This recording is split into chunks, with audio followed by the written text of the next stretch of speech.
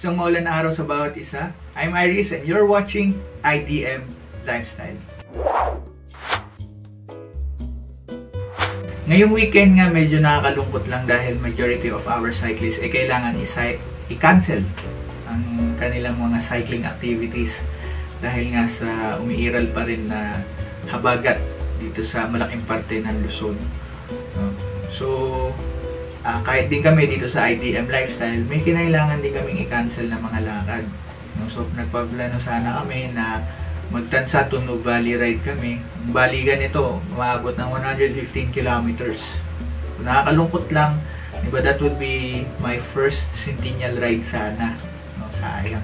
Pero okay lang yun dahil marami pa naman linggo na pwede nating i-move ang ating mga cycling activities. No? Ang importante, eh, ligtas tayo na nasa loob ng kanilang mga tahanan. So, ang topic ng ating content ngayon is bakit nga ba kailangan na ng isang newbie magsimula sa isang budget bike. Eh, huwag niyo pong kalimutan na ma-LSS dito sa channel natin.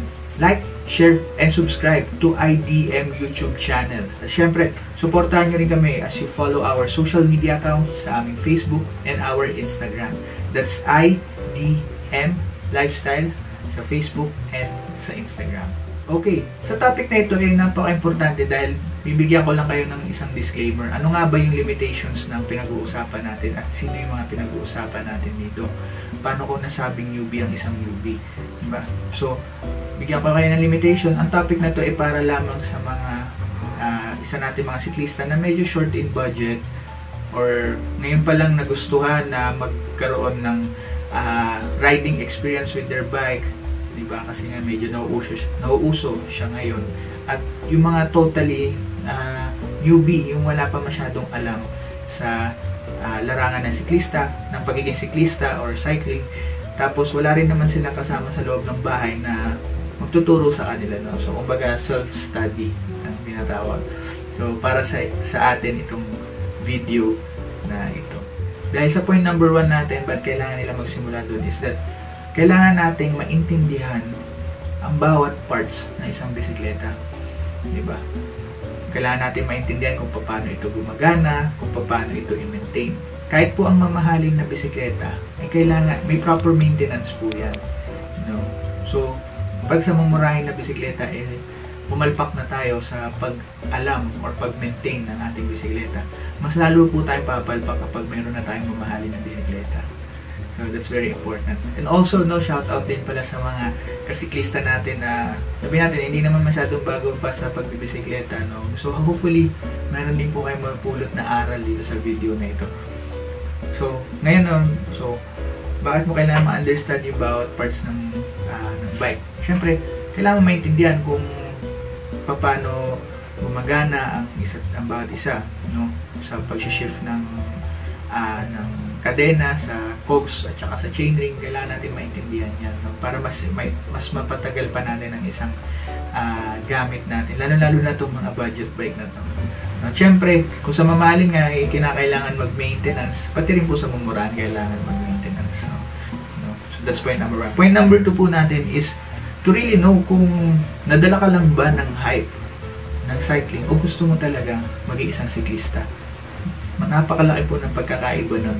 Dahil kapag ikaw po ay nadala lamang ng hype sa pagbibisikleta, ang tendency po, kapag nawala na po yung hype ninyo towards cycling, baka po iwanan nyo na lang yung passion ng pagbibisikleta. No? So, ayaw naman po namin na mangyari yun. Dahil nakakaawa din naman yung sa bisikleta nyo no, na hindi nyo na rin siya ma-maintain dahil nga napagsawaan nyo na siya. Pero kung talagang gusto mo ang pagbibisikleta, diba, doon natin malalaman yun kasi nga kung paano mo alagaan yung bisikleta mo. Kasi kapag gustong gusto mo talagang pagbibisikleta, kahit anong mangyari, kahit umuulan man sa labas, umaaraw sa labas, eh hindi mo iiwanan yan sa labas. Kasi nga, ganun mo paalagaan yung pagbibisikleta dahil hindi ka nadala sa hype ng ano, hype ng panahon ngayon, di ba? So, that's point number two. Point number three natin, mabilis lang tayo dahil ang point number three natin is kaduktong lang din ng point number two dahil you need to understand what type of riding ang babagay sa gusto mo. Ang hilig mo palang ride eh yung mga trail rides, Diba? O baka naman hilig mo pala eh, isang uh, long ride sa asphaltong lugar. Diba? So magkaiba po yung yung hilig, hilig na yun. Diba? So maganda po na malaman mo ito habang maaga dahil sayang naman kapag bumili ka ng mamahalin na bisikleta. Tapos hindi mo pala trip yung ganong mga uh, aktibidad. Masasayang lang yung bike mo.